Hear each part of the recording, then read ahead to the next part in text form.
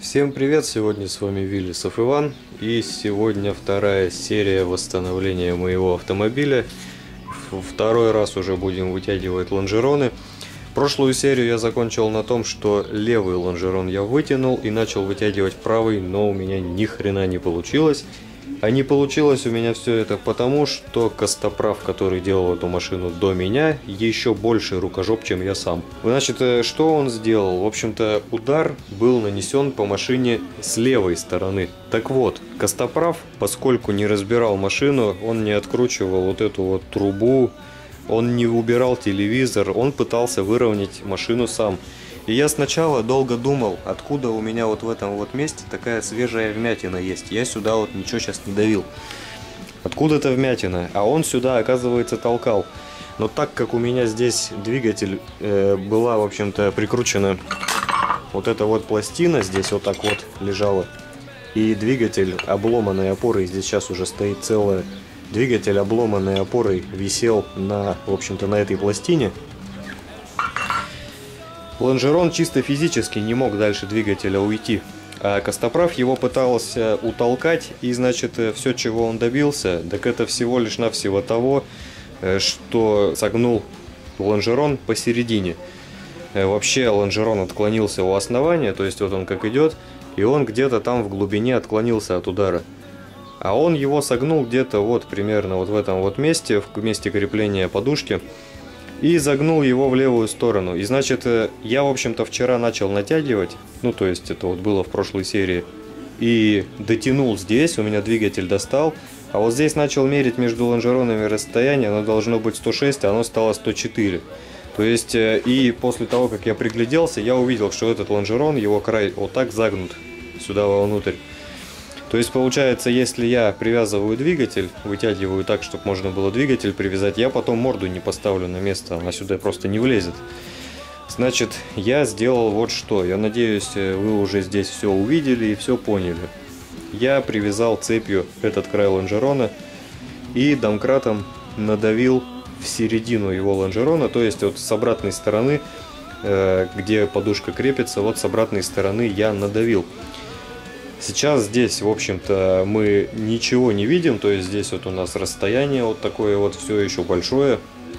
То есть, казалось бы, ничего не выгибается, но если померить расстояние между лонжеронами, то мы увидим, что у нас здесь аж 109.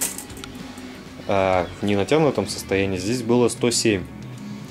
Э, так вот, в общем-то, это говорит нам о том, что у нас э, сейчас, в общем-то, лонжерон выгибается так, как он должен быть комментариях на ютубе все мне пишут простучи складки, простучи складки. Сколько не вытягиваясь, если не простучишь складки, ничего толком не выйдет. Долго все это будет выпрямляться, либо не выправится вообще. Так вот, я бы рад складки простучать, но я вот сейчас, у меня явно видно, что лонжерон загнут, э, в общем-то, в эту сторону был я, в общем-то, все пересмотрел здесь, все перещупал, все, что только можно. Ну нету складок, нету жуков, они даже пальцами не чувствуются, ровная абсолютно поверхность. Я бы рад их простучать, все эти складки, но я их не вижу, я их не могу найти. Вот это вот причина, вот поэтому вот я просто тяну.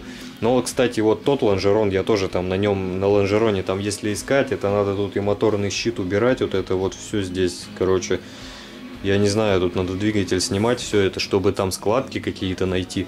Или хотя бы для этого нужна как минимум смотровая яма, которой у меня нет.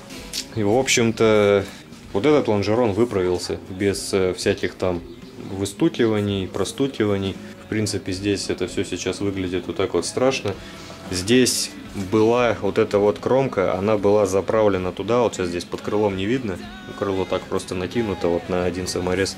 В общем-то, тут было так все страшно завернуто, то есть вот с этой стороны скос такой, то есть вот видно такой скос примерно где-то, ну, наверное, ну, если не 45, ну, где-то, наверное, градусов 60. А вот с этой стороны, если вот на этот скос смотреть, вот он сейчас вот более-менее нормальный стал, как бы похожий на то, что с той стороны. А до этого он был здесь вообще 90 градусов, вот так отвесная стена и все. Я думал, почему так, начал смотреть, а у меня вот здесь вот, где сшивается в общем-то, вот эта вот часть и вот эта вот часть, она уходит туда, вот так она уходит туда, и они вот здесь вот две пластины свариваются. Они были завернуты аж туда вовнутрь. В общем, тут под крылом не видно сейчас, я там тоже все расшил, все это выгнул обратно. И надо, в общем-то, будет все это, наверное, там наложить даже какую-то пластину поверх, зашить и замазать антикором, чтобы все это было не видно. И, естественно, побыстрее продать эту машину. Шучу, конечно. И, в общем, вот, прошло уже целые сутки уже прошли. Тут немножко все затянулось у меня, потому что был я не дома. Вот так вот сейчас это здесь все выглядит. Цепь я уже отпустил. В общем, лонжерон у меня выпрямился. Причем без простукивания там всяких складок, там всего остального. Лонжерон выпрямился. И я сейчас уже просто, то есть натянул, чтобы согнуть его у основания. Так как он согнулся во время удара, чтобы выгнуть его обратно. Так, в общем, вот, что мы здесь видим. Когда у меня лонжерон был вот так согнутый, у меня двигатель вешался, а морда не вылазила. То есть здесь уже расстояние меньше 106 было. И сейчас, если я найду рулетку, и сейчас у нас здесь 106. То есть четко, да? 106 видно. 106. Теперь берем нашу подушку. Я сюда прикрутил новый кронштейн. Берем нашу подушку, заправляем ее вот так туда и ставим здесь впритык. Все четко по креплениям. И с обратной стороны, там, если смотреть, но это сейчас неудобно, мне все одной рукой будет показывать. В общем, если с обратной стороны смотреть, вот по отверстиям, куда подушка вкручивается, там отверстие все четко совпадает. То есть вот сейчас вообще все прям идеально встает. Вот, в общем, я сейчас додавил до этого положения, но этого немножко мало на самом деле. Нужно сейчас будет передавить сильнее, то есть надавить еще сантиметра на два, чтобы потом, когда я отпущу, оно вернется и встанет примерно в свое положение. Я тут немножко подравнивал капот вчера. В общем, по этой стороне тут крылышко придавится, будет четко. И капот сейчас опустим, посмотрим. В общем, вот все идеально. И зазор, ну зазор в принципе такой для десятки нормальный. И с той стороны я сейчас надавил. И в общем-то здесь уже вот сейчас ну в принципе здесь откручено крыло здесь это все прикрутится когда все это будет то есть сейчас это здесь все вот так вот. В общем здесь когда прикрутится в принципе должно быть ровно должно получиться. Но я сейчас еще надавлю потому что этого сейчас то что надавлено этого маловато. И по капоту ну капот здесь тоже в принципе сейчас как я когда я передавлю он должен выпрямиться. Если посмотреть сейчас по уровню капота, вот, капот сейчас стоит вообще, я считаю, что идеально. В общем, вот, пока вот так.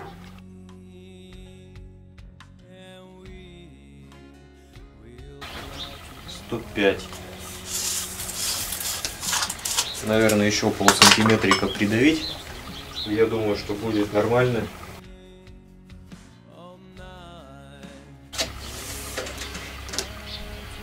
Вот 104 с половиной. Все, теперь пусть постоит, подождем и посмотрим, что получится. Итак, пока выпрямляется лонжерон, наверное, я выправлю жабо, потому что его от удара куда-то завернуло. Ну вот, я имею в виду вот эту вот пластмассу, вроде бы ее жабо называют.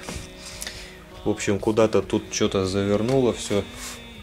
Крепление ее. Здесь вот такой вот зазор получился. Страшный. С той стороны зазор еще более страшный. Но он, по крайней мере, был такой. Вот здесь палец. Сейчас посмотрим с той стороны. С этой стороны. Ну, грубо говоря, тоже палец, но здесь вот когда капот криво стоял, когда лонжероны были кривые, Здесь вот два пальца влазило спокойно. Сейчас, по крайней мере, хотя бы зазоры стали одинаковые. Сейчас капот подниму. Вот, кстати, вот подтек. Должно быть видно то, что тут костоправы накрасили. Хорошие костоправы. Маляры хорошие.